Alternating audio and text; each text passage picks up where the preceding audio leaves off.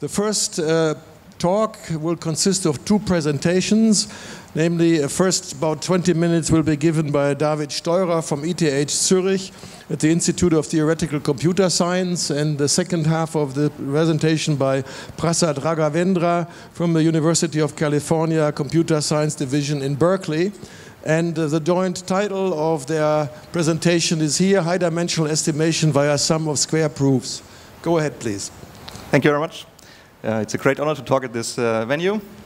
So uh, this is the title of our lecture. For more details about about this um, about high-dimensional estimation via sum of squares proofs, um, you can look at our proceedings article with uh, Tselil Schramm. Okay.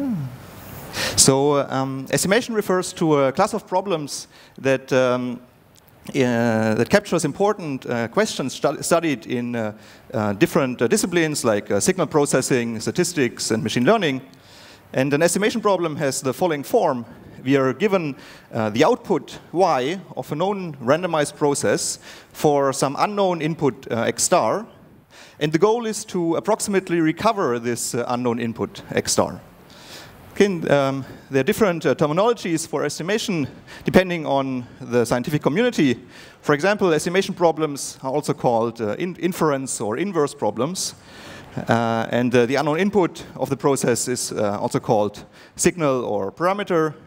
The output of the process is also called measurement or observation. Okay, and I'll use these uh, terms interchangeably. Um, an important question that can be framed as an estimation problem is uh, clustering. Um, we're given n data points, y1 up to uh, yn in RD. Um, and um, uh, each data point is a random perturbation of one of k unknown centers. Concretely, uh, every data point yi is equal to one of the k centers, xi star, plus uh, a standard Gaussian vector wi. And uh, the goal is to recover for each data point, the, uh, for each data point yi, the corresponding center xi star. Okay, for this estimation problem, um, you know, we only know the, um, the data points and the number of clusters, um, the number of centers, um, but in, in, in, particular, we don't know the, the cluster centers or, or which points belong to the same cluster. Okay? And the goal is to recover for each data point the corresponding center. um, and this uh, um, model for clustering is called the Gaussian mixture model, and it's one of the most extensively uh, studied uh, statistical models. Uh, it will be useful for us uh, to have a more uh, concise formulation of this problem. we start with a d by n matrix x star, whose columns are the vectors this, x, x1 star up to xn star. Um, that means that X star is restricted to have at most k different columns. And then we obtain a matrix Y by adding to X star a matrix W um, that, uh, that has independent standard Gaussian entries. And now the clustering problem is uh, just uh, to recover this matrix X star given the matrix Y. And uh, other important estimation problems uh, have similar formulations, um, where we have different constraints on the, uh, on, on the signal x star. For example, linear regression corresponds to the case that we restrict x star to a known linear subspace. And principal component analysis corresponds to the case that we require x star to be a rank 1 matrix. And uh, we can ob obtain a problem called tensor principal component analysis by um, restricting, by requiring that x star is a rank 1 uh, tensor. And this uh, problem, tensor um, principal component analysis, will play a role uh, for this talk. Okay. Um, now, what does it mean to recover x star? Um, so we want an estimator uh, x, x hat that uh, outputs as a function of y a matrix that is close to x star. Let's say in Frobenius norm. And this um, error should be small with high probability over the noise w no matter what uh, signal x star we, we had. Okay. Now, what are the theoretical guarantees um, that we have for this uh, error? Um, first, there exists an estimator that achieves error log k. Um, and this bound is best possible uh, statistically. That means that no estimator whatsoever can have, uh, can have statistically an error of uh, lower order. Unfortunately, this, uh, this error that achieves uh, log k is um, uh, not computationally efficient, and uh, it requires exponential time uh, to compute. And if you want to uh, have a computationally efficient estimator, then until recently, the, um, the best known bound was square root of k. So, so that means that uh, we have here this exponentially large gap between the best error bound a from a statistical point of view and the best error bound from a computational point of view. And uh, we would like to understand if this uh, gap is inherent or whether they are better, uh, or, or whether we have to look for better estimation algorithms. And we would like to understand this question not just for clustering, but also for other estimation problems, like tensor PCA, where we have a large gap between uh, the statistical error bounds and the computational ones. So next I want to give you an overview of the rest of the talk. So first we will discuss the sum of squares meta algorithm. Uh, that's an efficient uh, algorithm that is not tailored toward any particular problem, but instead applies to a wide range of estimation problems in a nearly canonical way. Um, and we will show that for clustering, this meta algorithm um, achieves a significantly improved um, uh, uh, error bound, and, and the, this improved uh, error nearly matches the optimal statistical error. And this, um, this result is an example of of a broader phenomenon um, that we call the proof to algorithm paradigm. Uh, and third, um, uh, we will show a strong, uh, we show strong uh, limitations for sum of squares for concrete estimation problems like tensor PCA. And these results contribute evidence that for some estimation problems, a, a large gap between statistical error and computational error is inherent. And what enables these results is a, a remarkable technique uh, called uh, pseudo-calibration due to uh, this work by, uh, by et al. Now let me tell you about this uh, uh, meta-algorithm for estimation problems. So let omega be our set of possible signals. For clustering, omega would consist of matrices that have at most k different columns. For tensor PCA, omega would consist of all rank 1 tensors of order 3 um, or tensors of order 4, I think, uh, in the rest, next talk. Um, um, ah, and um, now in our estimation problem, we are given uh, a vector y that is equal to one of our one of the possible signals x star plus the standard Gaussian vector w. And our goal is to estimate the signal x star uh, from the measurement y.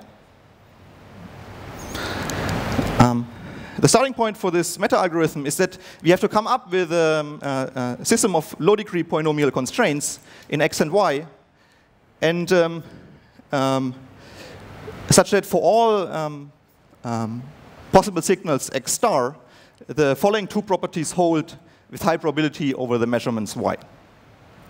Okay, the first property is that uh, you know, the signal measurement pair satisfies uh, the polynomial constraints.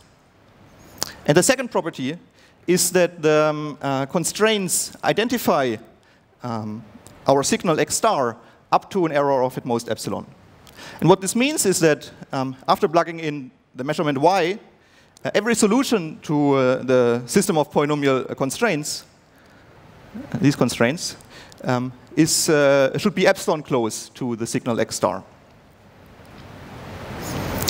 Um, now, if you have these two, these, together, these two properties together mean that um, we can guess, get an estimate um, for x star with error at most epsilon by solving uh, this system of polynomial constraints. Okay, so that's great. Uh, unfortunately, these estimates are um, a priori not uh, efficiently computable, and the reason for that is that uh, the reason is that um, uh, polynomial constraints are NP hard to solve in general. Now, the classical way to cope with um, uh, this uh, issue of NP hardness is uh, to develop specialized solvers that exploit the structure of the polynomial constraints that we have for our particular estimation problem. And indeed, many classical estimation problems can be viewed in this way. Unfortunately, uh, these kinds of uh, algorithms are often notoriously hard to analyze, and in most cases, we don't have strong provable guarantees for them. And this talk is about an emerging um, alternative approach. And what underlies this approach is uh, a systematic procedure that often allows you to turn a proof of, uh, of this uh, property star into um, an efficient uh, estimation algorithm. And more concretely, um, this uh, sum of squares meta algorithm gives an efficiently computable estimator that achieves error at most epsilon for every signal measurement pair that satisfy um, these two uh, these two property, and uh, where the second property has a low degree proof. And that means that in order to show that this estimator is good, um, it is enough to show that um, most measurements, um, that for most, measurements, these low degree proofs exist. Okay, now let me tell you what these um, low degree proofs are. So let S be um, the set of solutions to uh, the constraints that the polynomials P1 of x up to Pm of x are non-negative. Um, now we consider for some low degree polynomial uh, q of x the statement that q of x is non-negative over the set S. Okay? And uh, we say that this statement has a degree L sum of squares proof if we can express uh, the polynomial q of x as a sum of um, polynomials of degree at most L that are non-negative over S and have uh, and are of a particular form. And uh, uh, this particular form is that they are a, product of a squared of a squared polynomial r of x squared uh, and um, powers of the constrained polynomials p1 of x up to pm of x. And every polynomial of this form is non-negative over the set S, and that means that uh, an expression of q of x as a sum of such polynomials constitutes a proof that q of x is indeed non-negative over S. And these proofs enjoy um, remarkable properties. For example, um, under mild compactness uh, conditions, every true statement of this uh, form has a low degree, has a, has a sum of squares proof, but its degree may potentially be very large. Um, and, um, and, this fact is closely related to classical facts in mathematics, in particular Hilbert's uh, 17th problem, which is about expressing positive polynomials as sums of squares of rational functions, and the positive Stellensatz from uh, real algebraic uh, geometry. Now, for our purposes, uh, an important property of sum of squares proofs is that even though some statements require a very large degree to prove, many statements that are useful for estimation require only low degree um, to prove. Okay, another uh, key property of these proofs is, is that they are computationally efficient. Uh, given polynomials uh, P1 up to Pm and uh, Q, uh, if a low degree proof exists for this statement, um, we can find it efficiently using convex optimization. and this fact is uh, what underlies the computational efficiency of the sum of squares meta algorithm that I mentioned before. Now let's see how these things work for clustering. Um, so first we need to come up with low degree, uh, with low degree polynomials constraints that our uh, signal measurements pair, signal measurements pair, signal measurements pairs are likely to satisfy. Um, and instead of writing down the polynomials explicitly, um, let me just tell you um, the conditions that these polynomial constraints impose on x and y. Um, first, uh, they impose that x has at most k different columns. And this condition makes sense because our signal x star satisfies this condition.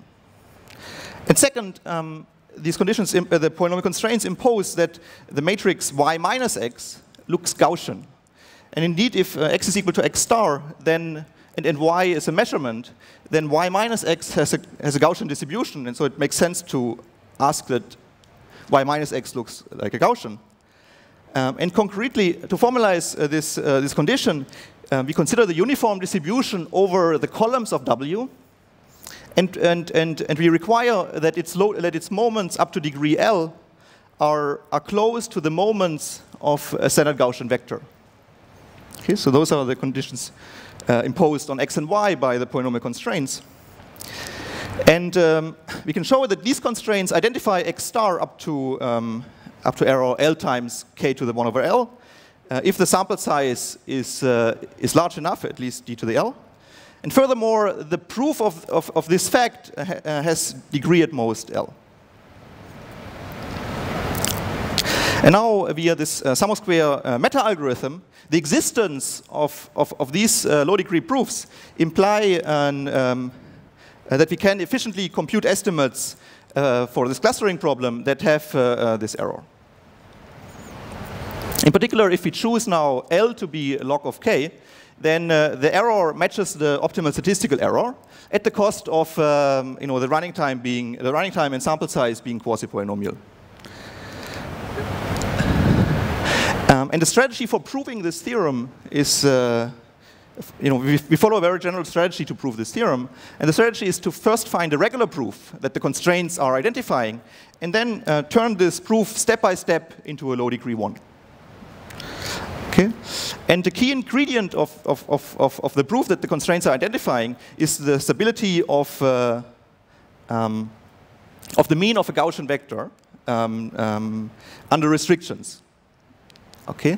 And what this means is that um, for every, uh, so what we mean by this stability is that for every set A, um, if you look at the mean of, of, of, the Gaussian, of a Gaussian vector W conditioned on A, uh, the norm of this mean is at most logarithmic in, uh, uh, in the probability of the set A. Okay? Um, and furthermore, um, if you only um, know that the first L moments of the random vector W are Gaussian, then we get a bound uh, of this form that quickly approaches the, the, the, bound in the Gaussian case. And finally, uh, the proof of this fact has degree at most 2L uh, where we think of the indicator function of a as our variable. Okay.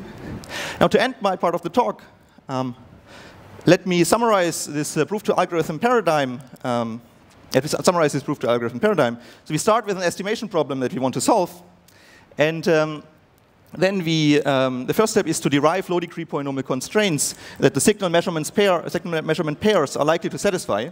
And these constraints can be viewed as a concise encoding of the, of the estimation problem that we want to solve. Um, and then uh, the second step is to show that these constraints are, are identifying.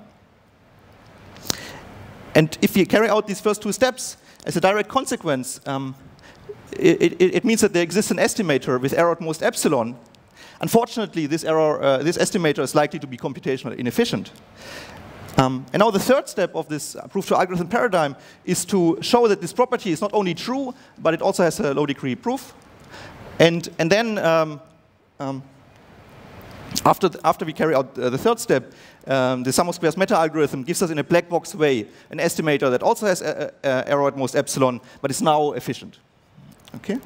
And um, the general strategy to carry out the third step is uh, uh, you know, to, to transform uh, the proof that we found in the second step into a low degree one. And uh, the key advantage here is that uh, this task is modular, and there's a growing set of tools that help you carry out this task. Thank you.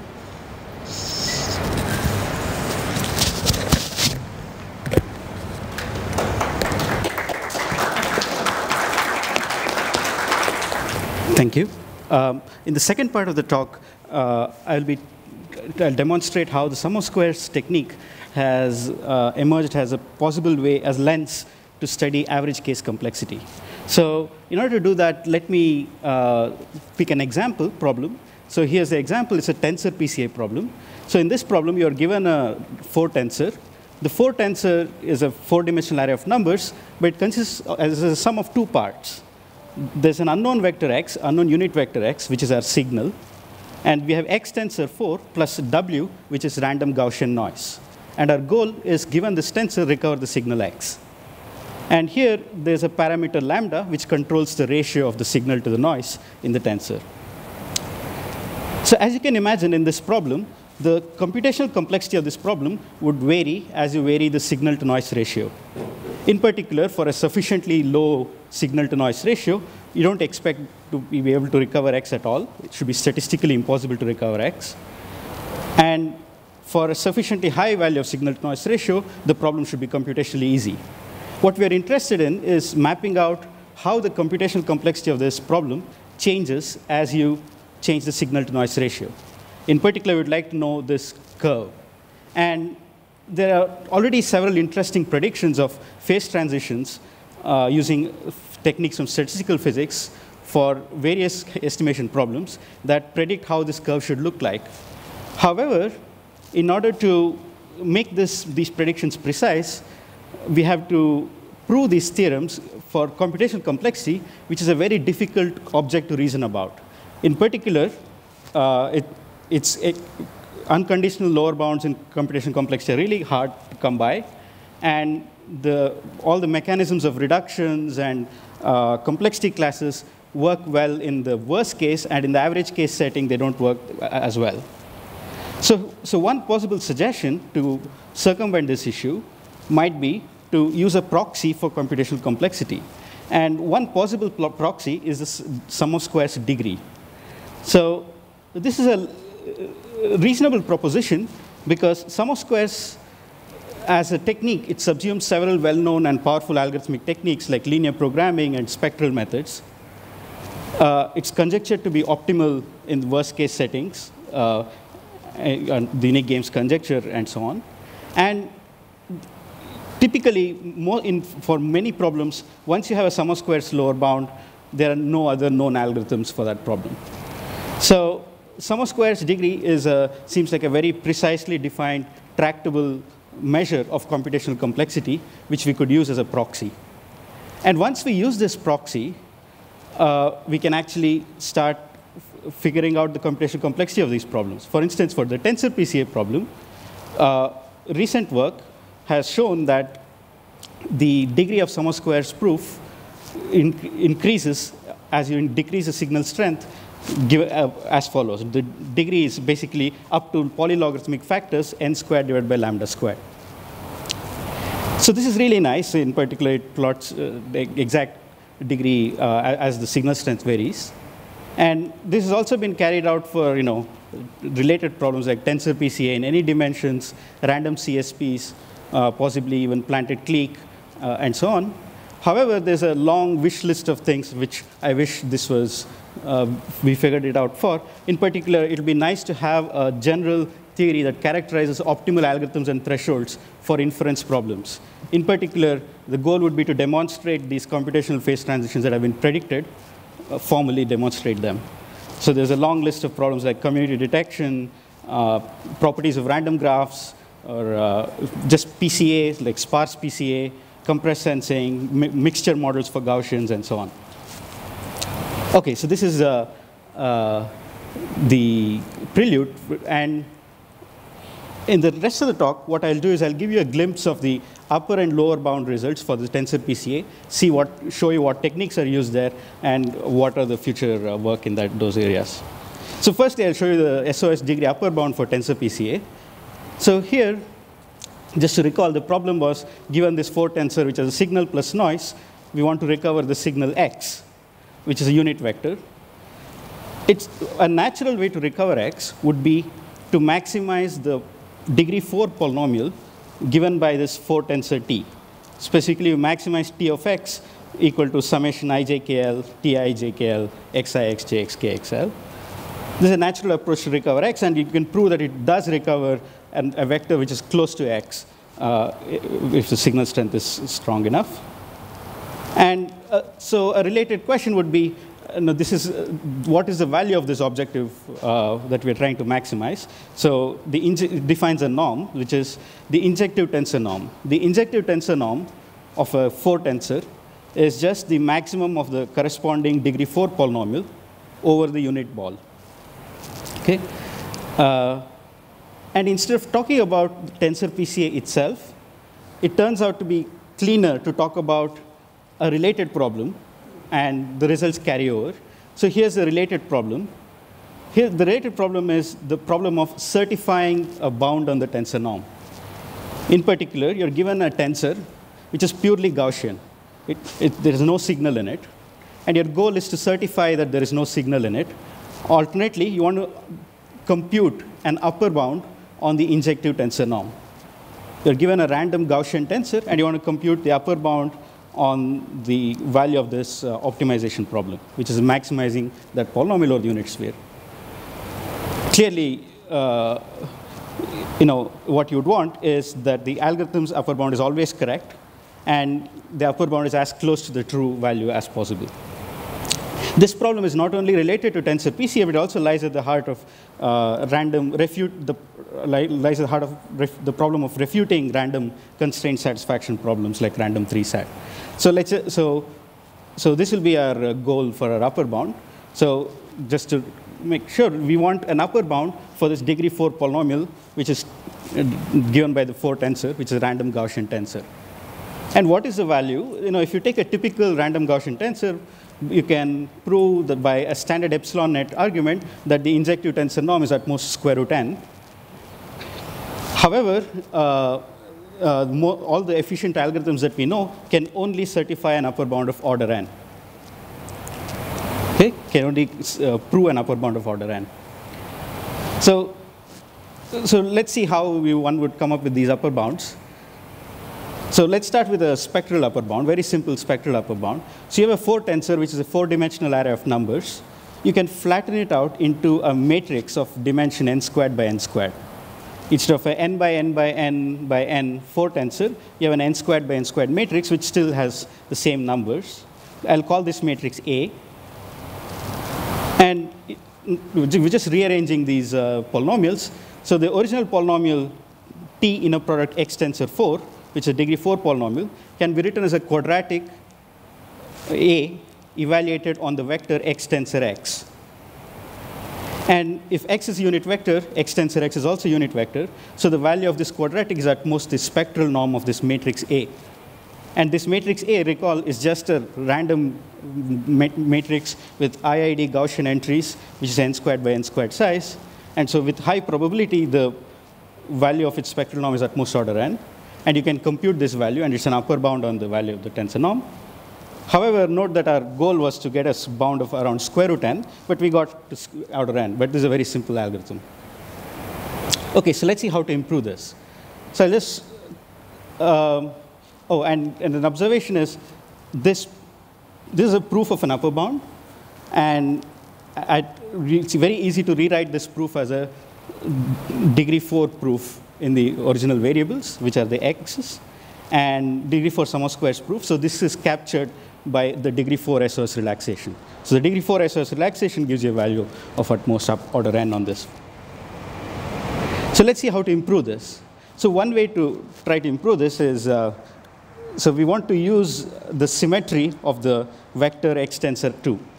So in order to use this symmetry, what we'll do is, let's, let me just raise this inequality identity I have to the power k and raise the whole thing to the 1 over k. I didn't do anything. The injective tensor norm is whatever I was maximizing raised to the power k, the whole thing raised to the 1 over k. So this, uh, you know, I, we can rewrite it as a quadratic form on x tensor 2k, which is again a unit vector. So now I can do the same trick, and I get that this is at most the spectral norm of a tensor k whole to the 1 over k. And, but unfortunately, this turns out to be just a spectral norm of A because the spectral norm tensorizes. So we didn't get any better bound by doing this. However, the next thing we observe is these vectors that we are computing this quadratic form over, the vector x tensor 2k, is a vector that has a lot of symmetries. In particular, it is symmetric under permutation of its dimensions, uh, the 2k dimensions. So we so the value of this polynomial would not change if I average the matrix A tensor K on, on these permutations. So I'll replace A tensor K by MK, which is basically look at this matrix A tensor K and average the rows and columns on permutations of the 1 to 2K and write down that averaged matrix, that is M tensor K, MK. Okay, so now this is again a valid upper bound. And now we'll do the same thing. We'll say, oh, the value is upper bound by the spectral norm of mk instead of A tensor k. Okay? So one can show that this upper bound is actually captured by a degree 4k sum of squares proof. So, so how good is this upper bound? Actually, this upper bound is pretty good. It actually gives you the SOS upper, upper bound result that I was claiming. In particular, one can show that the spectral norm of this matrix Mk is n over root k. And the reason one should expect this is the matrix Mk is a random matrix, clearly. It depends on the original thing. And if you compute the variance of each entry, The variance of each entry is 1 over k factorial because you averaged over k factorial permutations. And therefore, somehow you'd expect to get a 1 over k factorial in the spectral norm. However, making this precise is a little bit tricky because the entries of the matrix are not independent. They are polynomials in the original Gaussian entries of the tensor. For instance, if you set k equal to 2, you have an n to the 4 by n to the 4 matrix whose entries look like this. They look like degree 2 polynomials in the original tensor. And if you look at mk, the entries are degree k polynomials in the original tensor t. So proving this upper bound of the spectral norm, you need to go through the trace method by carefully, and but it's, uh, it's doable. So, so that's the upper bound for the uh, SOS. But if you're uh, some of you might notice that why would you need to use SOS at all? Why not do the following simpler algorithm, right? Because what you could do is you have the original tensor T. You have the, you, why don't we just compute the matrix MK, whose entries are polynomials in the entries of the original tensor. So you compute the matrix MK, compute its spectral norm. You can do it by computing the largest eigenvalue, and just output that as your upper bound. So we don't need to solve an SDP. We just compute one, uh, I, one computation of spectral norm. And so this is nice. It's in fact a simpler, faster algorithm. And, uh, but surprisingly, this phenomenon is actually not very isolated. It, it's a fairly broad phenomenon in that uh, for many problems which satisfy a certain very mild property called the robust inference property. I won't try to define it here. Uh, we, one can show that the SOS, if the SOS algorithm succeeds, then there's a simpler spectral algorithm that succeeds. And the spectral algorithm just computes a large matrix with whose entries are polynomials in your input and computes the largest positive eigenvalue of that. Um, of course, this is for a slightly weaker task, of not recovery, but uh, just to find the um, find out if there's a signal or not. Yeah. Okay. So this was all I wanted to say about SOS upper bound. Uh, now I'll talk a little bit about SOS lower bound. And so in order to talk about SOS lower bound, let me just say what the schema is. So, so what, what we have is this tensor, which has a signal plus noise. And suppose uh, degree D SOS succeeds on this, as in it recovers X successfully. What it means is the following. There is a convex optimization problem which we didn't define in the talk, which is the degree D SOS SDP relaxation. It's a convex optimization problem. And if you solve that problem, the solution yields X. In particular, the, to say that degree D SOS recovers X is to say the following, that the, the, this associated convex optimization problem is feasible and X is essentially the only solution, meaning most solutions are close to X in a formal way.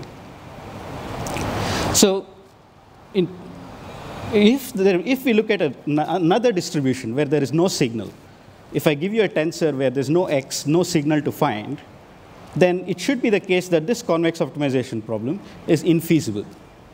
So it's feasible when there is a signal, and it's infeasible on the other hand. And the way you would prove a lower bound is to contradict the second statement. In particular, the strategy would be we'll forget about the planted distribution.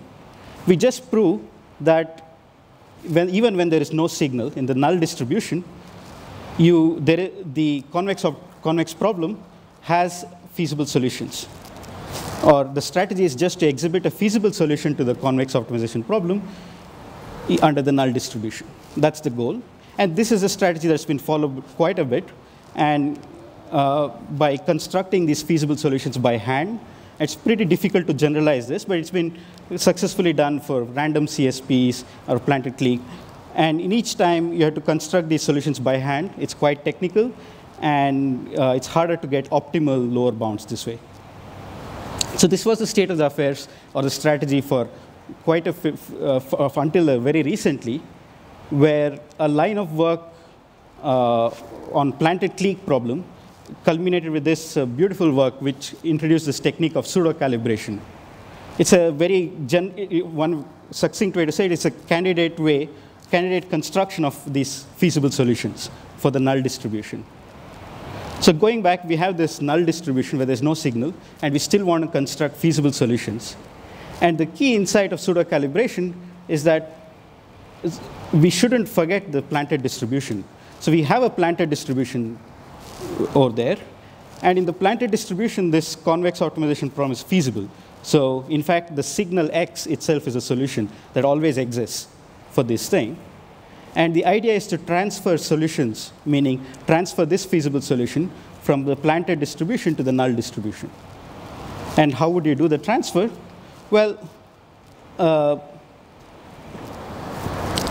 look at the function f, which takes the tensor and recovers the signal x. It's some function of the tensor. So I, am just saying the uh, uh, uh you, Uh, basically the conditional expectation of the signal given the given the tensor. That's the function. Basically, f is a function that takes the tensor, which in, from the planted distribution outputs the signal. It's a function of the tensor. Project this function onto the low degree polynomials in the tensor T. So basically approximate this function by a low degree polynomial. And now you just evaluate it under the null distribution. Evaluate this low degree polynomial in the null distribution. And the claim is this gives you a candidate SOS SDP solution. So this is a little bit, should be surprising at first because uh, what, what it is saying is the following. We want to find solutions to this semi-definite program or linear program on random tensors. And what it is saying is it's giving you a candidate solution, which is actually a low degree polynomial in the original problem. Typically, solving an SDP or an LP, you solve a complicated convex optimization routine, which is an algorithm which out, spits out a solution. It's almost never the case that the solution itself is just some evaluation of a polynomial on the eh, constraints on the coefficients in the linear or the semi-definite program. What this is saying is take the coefficients in the linear semi-definite program, sm smash it through this low-degree polynomial, the output is a solution to the SDP. So it's a bit surprising, but it's surprisingly it works and in, in some cases. And the key advantage is it's very general. It's very easy to uh, write down what this solution should be. And it recovers many existing constructions in a unified way. The, the main disadvantage is this construction is still very conjectural. In particular, it, it's, it's been proven to work for planted clique and tensor PCA by proofs that are quite technical and very hairy and difficult to generalize. However, you know, if this is a valid construction of an SOS SDP solution, um, then it, it implies a very bold conjecture, which is that for broad families of estimation problems, if the low degree SOS SDP distinguishes between two distributions, then a slightly higher degree polynomials distinguish between them. So in particular, we started out this with this goal of understanding this fairly complicated algorithm, which is the SOS semi-definite program. It's, this suggests that you just have to understand how polynomials behave on the original pair of distributions, which is a much easier task. And, um, and uh, uh, this still remains a conjecture right now. Um, but if you, the, the predictions that, that you, you can make, you immediately make, start making predictions based on this conjecture. And uh, it's interesting that these predictions coincide with the conjectured and proven thresholds for community detection and related models. Um, and these, these thresholds were predicted and proved, predicted using techniques from statistical physics and proved, um, um, uh, proved fairly recently. And uh, it's surprising that if you, if you start with this conjecture, you get the same predictions. So it's possible that this conjecture is true, and it'll be really nice to understand why, if it is. Um, so it's a very uh, interesting uh, time to be working in this area. Sum of squares algorithms actually open an avenue to have a general theory on these uh, average case statistical estimation problems. And uh, it's likely that the pseudo calibration technique can be used to actually provably demonstrate phase transitions, very sharp phase transitions in these computational problems. Um, I'll stop here.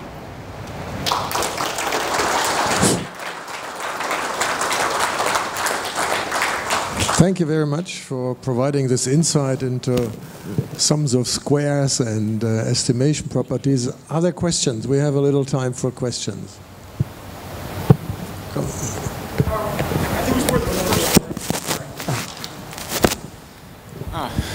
I'm Tristram Bogart from Los Andes University in Colombia. And uh, my question is more of the first part of the talk. When you guys were talking about low degree polynomials, does that mean like low is in constant or growing slowly with n? Uh, I, I, I, think in the applications that uh, David mentioned, the, it was uh, a constant and the bound and and you would get polynomial time algorithms as soon as you make the uh, you, you'd, you'd, get the optimal uh, result as soon as you make the degree up to log n.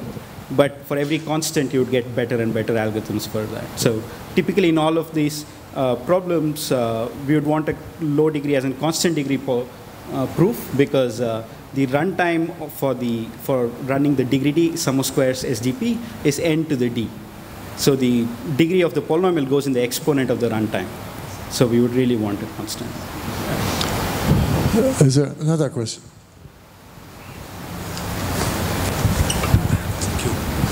Eh, is this, uh, so I'm uh, Gil Kalai, is this related to efficient learning of such mixture of Gaussians and related distribution or noisy distribution? Uh, yes. Uh, uh, I, um, so the algorithm that David described actually gives you an algorithm to learn Gaussians, mixtures of Gaussians. Uh, and uh, um, the, uh, but the, yeah, so, so now, so there are several problems for unsupervised learning for which SOSSDP has been used to um, devise algorithms recently, but uh, the precise uh, learning, precise connection between learning has, hasn't yet made into the proofs of lower bounds and so on.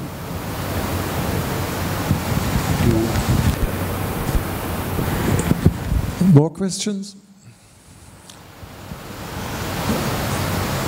If there is no further question, let's thank the speakers again.